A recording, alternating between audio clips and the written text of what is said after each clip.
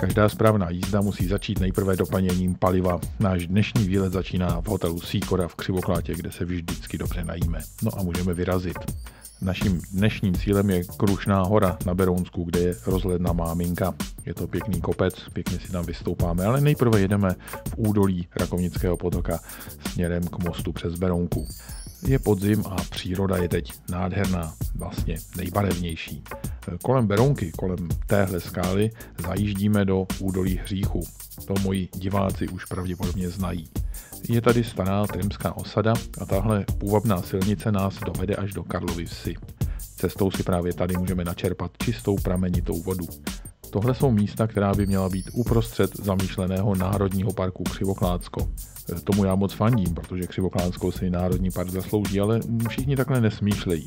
Někteří Národní park nechtějí ale to je jedno. Příroda je tady hezká s parkem i bez. Ale to už jsme krpálem vystoupali nahoru do sedla na Hrobcích a odtud nás čeká hezký sjezd směrem dolů na Karlov. V dálce už vidíme Krušnou horu. Je to ale ještě pár kilometrů, než tam dojedeme. Tady na Karlově bývala dřív hospoda na Placandě, kde se dalo dobře najíst, ale to už tady dávno není. Teď tady jen projíždíme.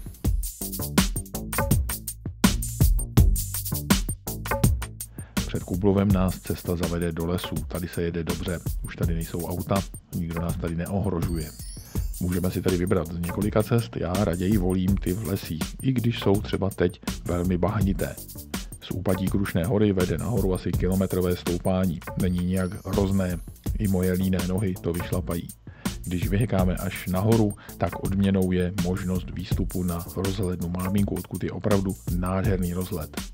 Mně už se tady stmívalo, takže jsem cestu zpátky už moc nenatáčel. Jede se trochu jinudy, jedeme po hřebeni do Nového Jáchymova a pak zase v lesích zpátky ke Křivoklátu.